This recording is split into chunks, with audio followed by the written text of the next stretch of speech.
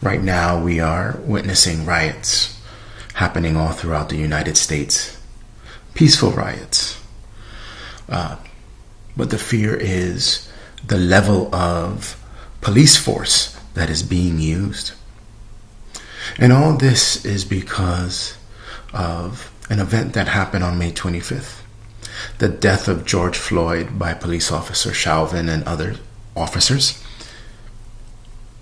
who killed an African American.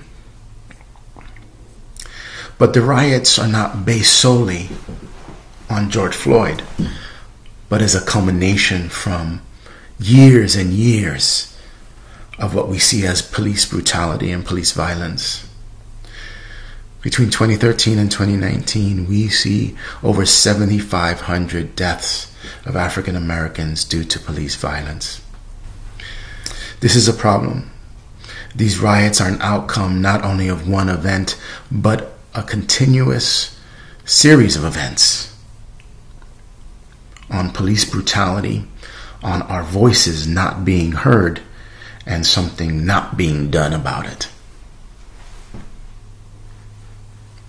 So, to those in the peaceful riots, to those who are feeling the pain of loss, and we all feel it, I have two things to say. Number one, let us walk together.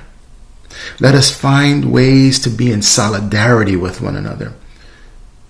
Walking together, in walking together, we can do a lot. And then the second thing is to be of one voice.